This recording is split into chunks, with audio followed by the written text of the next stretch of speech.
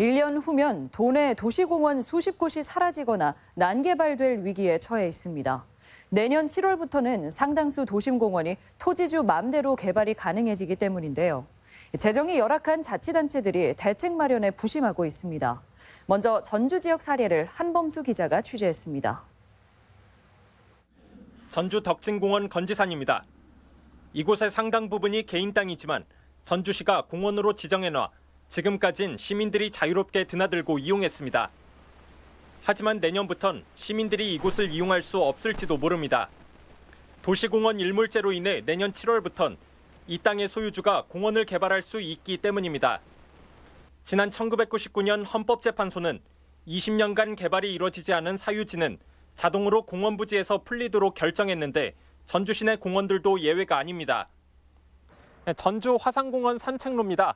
어, 지금까지는 이 길을 따라 산 정상까지 올라갈 수 있었는데 앞으로 소유주가 원치 않으면 이곳 역시 이용에 제약이 생길 수밖에 없습니다. 황방산 공원과 완산공원, 인후공원 등 전주 시내 15개 공원이 모두 비슷한 상황으로 내년 하반기부턴 아예 공원이라 불리지 못할 수도 있습니다. 그래도 전주시에서 이런 공원 하나 정도 있는 게 큰 재산이거든요. 어, 사라지면 안 되고 여기 이대로 있는 게 좋아요.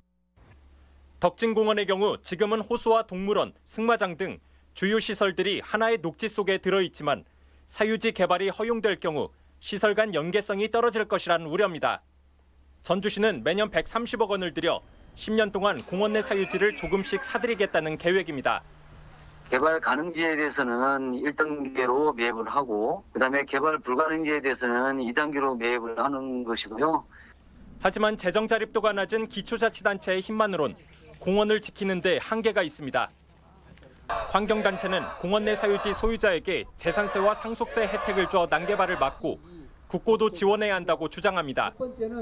이제라도 도시공원 일몰제의 실효 시점을 3년간 유예해서 어, 정부 그리고 시민단체, 토지 소유주들이 함께 모여서 구체적으로 어떤 방향으로 나아갈지 논의할 수 있게 전주시는 공원 내 사유지 상당수가 종중이 소유한 곳이어서 급격한 개발은 없을 것이라고 예상하면서도 일몰제 시행에 따른 파장에 긴장하고 있습니다. MBC 뉴스 한범수입니다.